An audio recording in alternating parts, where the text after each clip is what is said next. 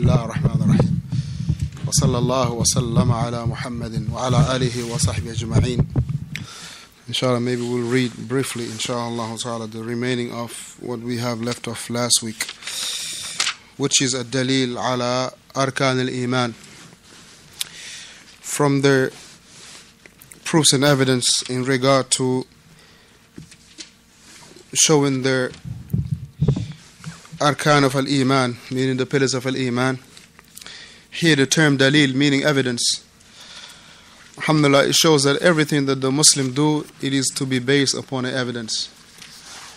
And the evidence cannot be what you feel like or what you think or the perception that you have about a matter, but it ho- always have to boil back to Allah and His Messenger sallallahu alaihi wasallam and how the companion of the Messenger sallallahu alaihi wasallam they have they have done so.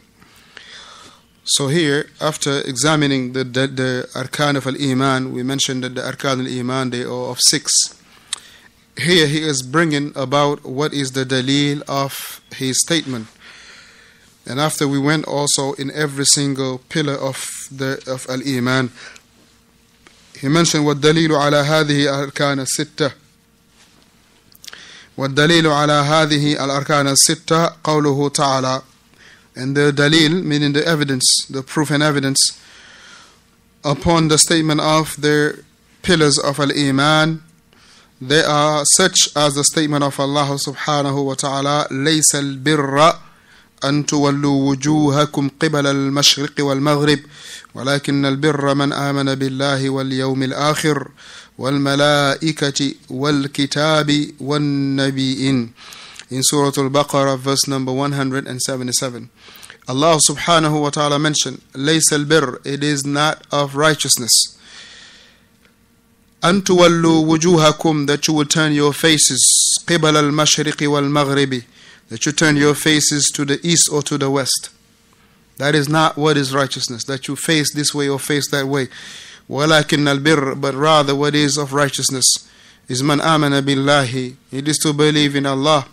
to believe in the akhirah the last day والملائكة and to believe in the angels والكتاب and to believe in the book والنبيين and to believe in the prophets and messengers and here this verse barakallah fikum maybe it came it comes alhamdulillah right on time because with the issues that people today they be having in regard to Jerusalem being the capital of the land of Israel and the likes of this.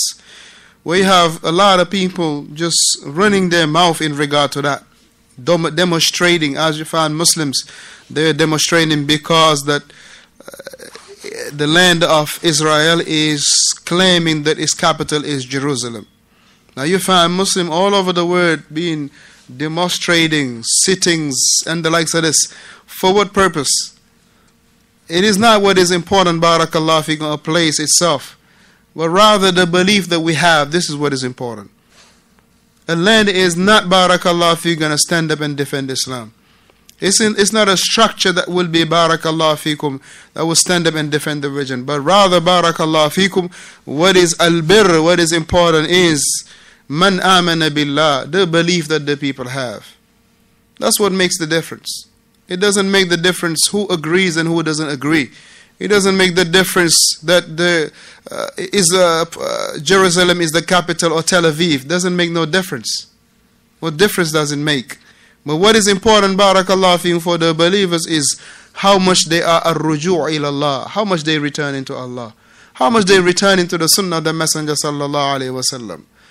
If the person you're fighting and you look alike do the same thing, then what you fighting against? What is the fight about then? If the person that you have in front of you, he, you throwing rocks, he's you know throwing grenades. If you're doing the same thing, you celebrating the same thing, then what is that the fight about? What is that fight about? If you look the same, what the fight about? If he smoke a cigarette, you smoke a cigarette. If he shave the beard, you shave the beard. Then what is that fight about? Huh? But rather, barakallah, fiqh, what is important is, walakin al but what is the belief, what is righteousness, is man amana billah, is that the belief that the person has. And the person has that belief in Allah and believing in the akhirah. Believing in the akhirah. And anytime, as we mentioned, whenever Allah subhanahu wa ta'ala connect the belief in Allah and the akhirah, what comes after is actions. Anytime that belief in Allah is linked with the belief in the hereafter, what we are being taken, what we are being asked to take heed of is action that is to be brought forth. Not about just a word, you know, uh, what you call it, lip service. No, but rather action.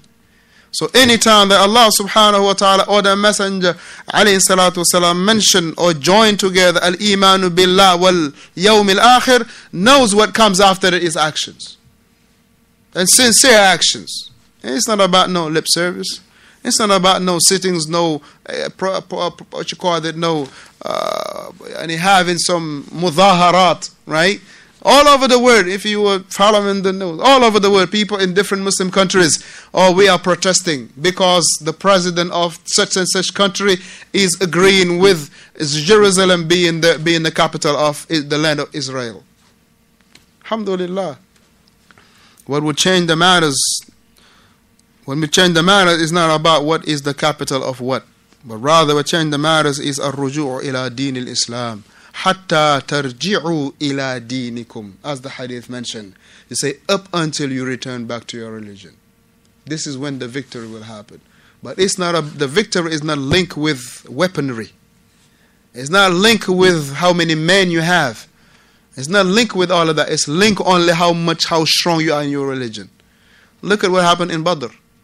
They were smaller in numbers, smaller in in everything Smaller in cavalry, in smaller in weapons, smaller in mounts, smaller in ammunition, smaller in everything. But yet who, who was the who was the winner? The believers. The believers. But what caused them to win? The belief that they had in Allah subhanahu wa ta'ala. Because Allah will aid them.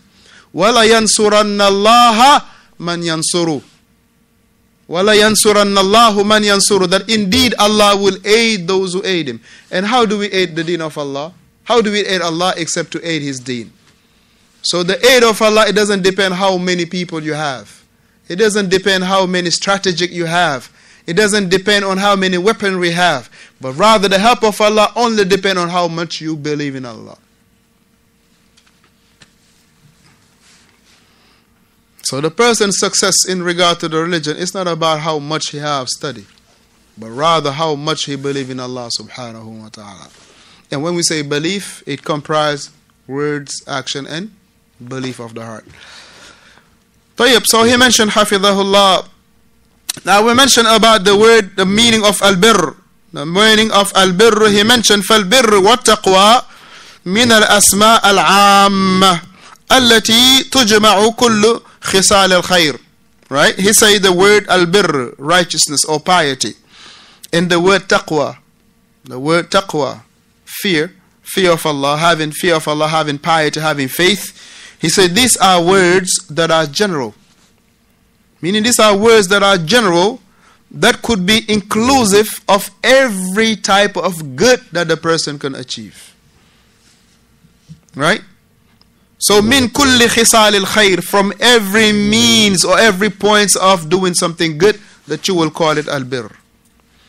So that alhamdulillah shows that a person can be pleasing to Allah in something that is very simple and easy. Simple and easy.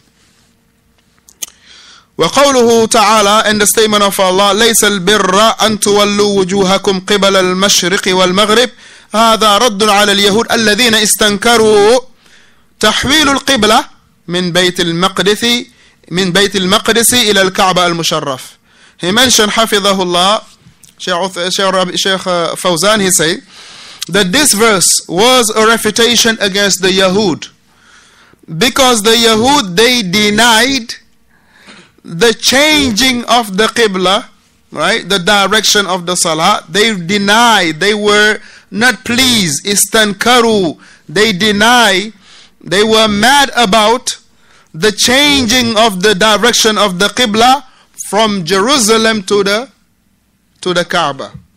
From Jerusalem to the Kaaba. Now look, this is to show you barakallah fikum. Right? Once the, the Qibla was where? was in Jerusalem, right? In the same state, state that the people are fighting about, taking it as a capital or not a capital, this and the third, or this bickering about this. And subhanallah al azim, if you understand that the solution for our problem could have been just having our ranks in the salah to be tight and straight.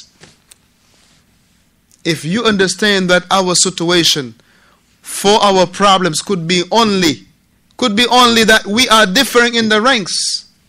إن الله ليحب الذين يقاتلون في سبيله كأنهم بنيان مرصوص. Now look, even in jihad, they have to be what? They have to be straight in the lines. The Prophet ﷺ used to make the lines. In jihad, though, in jihad, he used to be making the lines straight, just like how he would make it in the salah. Now, if the people today they pray, one is standing in here, one other one standing in north. If you put try to put your shoulders next to the person or your feet next to the person, he run away from you. Then what is the problem that these guys they taking this land as theirs? We are the cause of it. So he mentioned Hafidahullah. He say, Istankaru hada wajahaduhu مع العلم أنهم يعلمون أنه حق.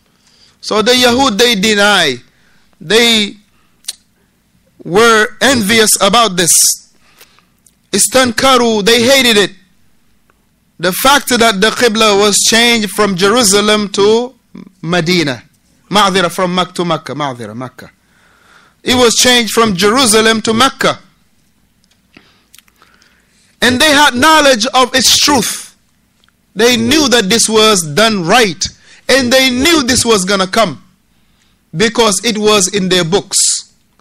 But because it was not in favor, in, in their favors, quote unquote, they deny it.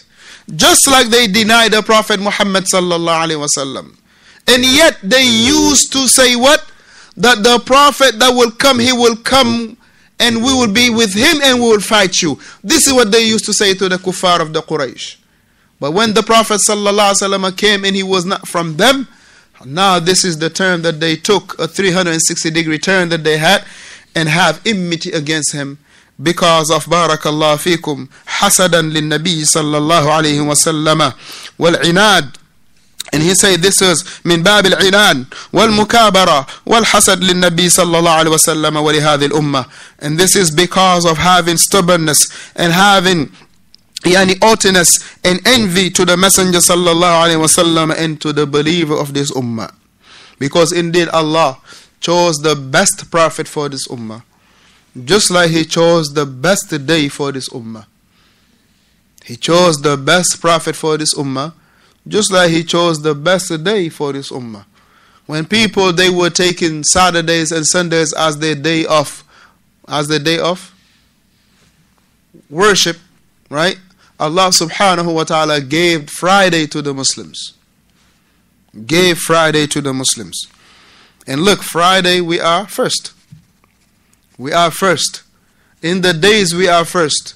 And likewise in the Dukhulul Jannah, the Ummah of the Messenger sallallahu will enter first before any other Ummah. Before any other Ummah. Nahnu al-akhirun. We are the last in this life, but we are the first in Yawm al-Qiyamah. Meaning we are the last Ummah, but we'll be the first Ummah to enter the paradise. May Allah subhanahu wa ta'ala make me and you to be from those who will enter the paradise without any reckoning and without any punishment. Ameen. And grant it to our parents. Ameen. يقول الله سبحانه وتعالى as Allah subhanahu wa ta'ala he mentioned ليس البر أن تولوا وجوهكم قبل المشرق معذرة he say ليس البر أن تولوا وجوهكم he say جهت من الجهات من غير أمر من غير من غير